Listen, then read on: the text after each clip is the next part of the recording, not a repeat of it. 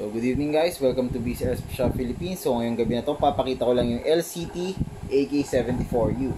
So, ayan. Mas kilala to sa AK Bin Laden na tinatawag. Kasi, kung makikita nyo sa internet, ah, yung mga pictures ni Bin Laden, ah, usually makikita nyo katabi niya itong AK na to. So, itong AK na to ay, ang brand niya ay LCT made in Taiwan. So, full steel. So, yung quality niya, pag ginawa ka nyo, ang ganda talaga. So, yun nga, full steel, real wood. So, yung handguard niya, real wood, unlike dun sa other AKs na cheap, ah, yun nga, cheap furniture yung ginagamit, o kaya plastic pa yung, plastic pa yung handguard. Tapos, yun, tinry ko kasi to kanina. So, yun, ah, yung magazine niya, mid-cap, 130 rounds. So, kailangan mo ng BB loader kung gagamitin mo siya. So, pakita ko lang. Ayan. Ito. Kailangan mo ng BB loader if ever na gagamitin siya. Out of the box, based sa review, uh, 300 to 400 FPS. Pero kinrono ko siya kanina, ang puma ang lumabas sa chrono is mas malakas siya. So, 400 to 420 FPS out of the box. So, biruin niyo yung barrel length nito. Barrel length nito, so 400 to 420 FPS na output. So, ayun. Ah, uh, kung gusto niyo naman to lagyan ng mga attachments like scopes, uh, kailangan mo siya ng Rambo rail na tinatawag. So, bibili pa kayo ng Rambo rail. So, imamount nyo yun dito para malagyan mo siya ng scope. Uh, tapos, uh, yun nga, foldable buttstock to. So, katulad nga na binanggit ko kanina, yan, foldable buttstock. So, pipindutin mo lang to dito. Ayan, lahat to, pati yung butt, uh, steel to. So, paano ba natin matitest? So, ayan, may magnet ako. So, kung mapapansin nyo, ayan, dumidikit. So, uh, itong motor na to may magnet. So, ayan, pakita ko lang ha. Ayan, oh, kita nyo? So, full steel yung unit. So, yung buttstock. Kita nyo? Ganun kaganda yung pagkakagawa ni LCD dito sa AK na to. So, yun. Kilala naman si LCD sa paggawa ng mga AKs. Talaga lahat full steel. So, ayan, napakita ko ulit. Lahat ng parte, kung makikita nyo, steel yan. So, ayan. Ganun kaganda. Yung charging handle niya. So, ayan. Working. So, pag hinatak mo itong charging handle, makikita mo yung hop adjustment. So, ayan, kita ba? Ito, ito, ito. Itong part na to. Ayan, itong part na hindi kita masyado. Pero dyan yung hop adjustment niya, pwede niya naman din siya i-YouTube kung hindi nyo makita dito. So, ayun nga, ang pag-fold ang pag-fold ng bat nito is pipindutin mo lang tong button na to. So, pagka-pindot mo, medyo matigas kasi yun nga, medyo uh, talagang halos real, uh, realistic na talaga siya. Eh. So, ayan. Pagka-pindot mo to, fold mo tong buttstock, automatic maglalak yan. May locking system siya. So, andito yung locking system, uh, hindi kita. So, pipindutin mo rin to. Ayan, ito to. Wait lang. Kita ba? Ayan, so may locking system yan dito. Parang ipin na magkaklamp sa kanya. Ngayon, ang gagawin mo, ayan o. So, pakita ko muna yung tsura. So, ayan na siya kaliit. Biro yung 400 to 420 FPS, ganito kaliit. Sila laro mo. So, ang ganda sa CQB, di ba? So, pwede nga isang kamay eh. So, lightweight din. Tapos yun nga, pindutin mo to para bumalik. Ayan, may pindutin yan dito. Bali, uh, push down mo siya. May kita mo parang may ipin. So, push down mo siya. Tapos yung quality nga, ayan, makita mo, uh, meron pa siyang serial number dito. So, pakita muna natin yung details. So, yun, hindi ako masyadong nagpo-post ng AK, pero yun nakita ko naman itong AK-74 yun. Nagandaan ako. Kaya kinuha ko sa supplier. So, ayan. Version 3 gearbox. Tapos, uh, lahat LCD. Metal tip piston body na rin ata to. So, hindi ko pa siya nabuksan. Uh, yun nga, isang piraso lang to. So, kung may gusto bumili, mamaya ipopost na, ah, ipopost ko kung kayo na kayo order. Tapos, uh, message na lang sila. Sabihin ko lang siguro yung price. So, pag bumili kayo nito, lilibrehan ko na kayo ng uh, Lancer Tactical BB Loader. So, ito yun. Kasi mid-cap yung magazine eh. So, ang cash dito, 130 rounds. Tapos, ano pa ba? Yung lower, at uh, sorry, yung pistol grip niya ay polymer lang. So, yun nga lang ang medyo may yung finish parang ayan o, parang makaluma o parang naluma na pero yun nga siguro style talaga ni LCT yun sabagay habang naluluma naman kasi si AK mas gumaganda rin yung itsura niya at the same time so uh, electric to electric yung unit na to talagang mukha lang siyang tunay so ayan AK-74U or AK Bin Laden So, ito yung safe. Ito. Pag nasa taas, safe yan. So, yung selector, itong pag binaba mo ng konti, so medyo matigas. Yan, okay. So, pag binaba mo ito ng konti, sa second position niya, so full auto. Pag binaba mo na sagad, semi. So, ayan, nakita nyo? So, ulitin ko ha. So, pag nasa pinakataas tong lever na to, uh, safe. Pag binaba mo ng isang level, uh, full auto. Pag binaba mo na sa God, semi. So, huwag kayong malilito, no? Ayan. Tapos, ulitin ko lang yung butt stock. Pipindutin lang para ma-fold. So, ngayon, testingin natin yung LCD. Uh, itong button na to, dito, uh, itong top cover, so, tatanggal, ay hindi, iaangat muna natin top cover. So, pindutin natin to. Ayan, makikita nyo ito yung uh, plug na kinakabitan ng battery. So, ang gagamitin yung battery pang test ay Nanotech 1200 mAh.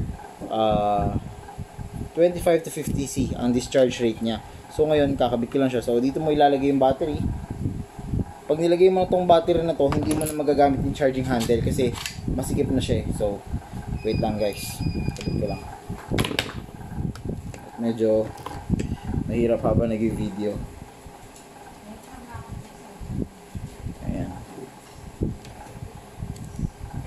make sure lang din na walang may ipit na wires kasi yun nga mahirap o mamaya masunog magdikit yung positive tsaka negative masunog o sumabog yung battery pag nagkamali kayo so make sure na walang may ipit na wires nga ulitin ko lang ha ayan ayan so para maisara mo siya uh, para maisara mo minsan kailangan mo siya paluin so yun nga realistic feel talaga so yun o magnet kakatanggal ko lang. So ngayon, sasalpak ko lang ulit yung magazine. Medyo mahirap siya isalpak sa una. Ayan, so hindi mo kailangan magkamot. Wala kang kailangan gawin. Ang ginawa ko lang kayo, nilagyan ko lang siya ng bala. So automatic na aangat na yung bala. Unlike dun sa ibang magazine na kailangan mo pakamutin, kailangan mo hatakin ito kasi tinatawag ng mid cap. So parang parang sa tunay na baril na rin siya. So, waiting ko, safe. Pakita ko lang itsura pag ginagamit. So, other side, pakita ko din. So, yun pala, no? Nakalimutan kong banggitin. Uh, lagi natin ko consider na loaded yung firearm. Tapos, uh, wag natin itutok sa ayaw natin barilin o sirain. Tapos, laging trigger finger out. Uh, tapos yun nga, lagi natin ko consider uh, yung nasa likod ng binabaril natin. Baka mamaya magbutas yung binabaril natin, may tamaan sa likod.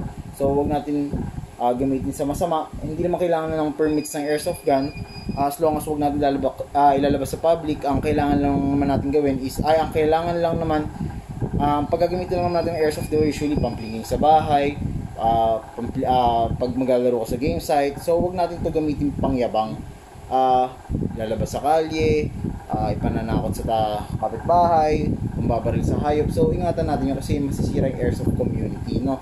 Uh, yun nga, hindi naman kailangan ng permit, so optional lang kung gusto mo, kailangan humingi lang kayo ng resibo dun sa registered airsoft shop tapos yun yung papakita niyo sa sa FEO alam ko. Sa pagkakalam ko ganoon ang ginagawa. So hindi naman kasi nire-require talaga ng permits ng airsoft gun. So nililinaw ko lang, no.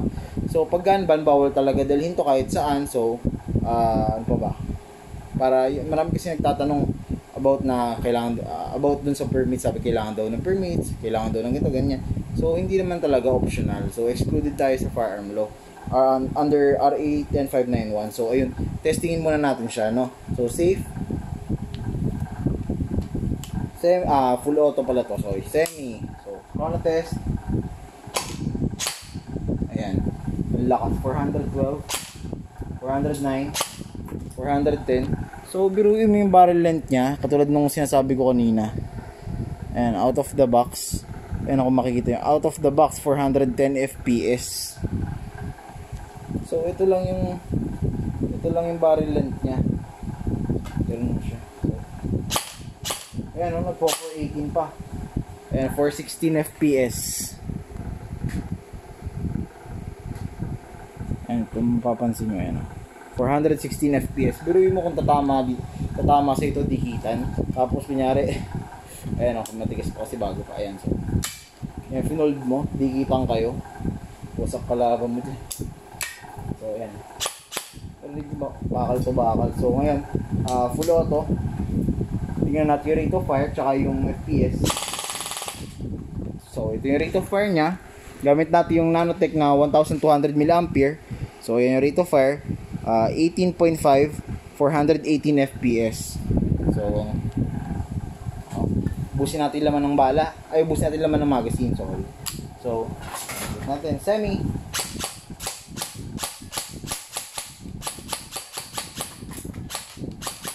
Full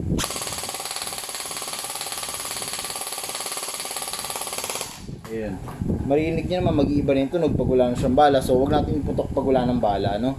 Mukha naman tayong tanganan. So, ang gawin natin, tanggalin yung magazine. Okay? Ah, after, uh, pinutin mo ulit tong button na to, pag hindi mo nagagamitin, tanggalin mo yung battery, lagi nyo i-unplug. Tapos yung battery, pag dumating sa inyo, halimbawa brand new, lagi nyo full charge muna bago gamitin, no?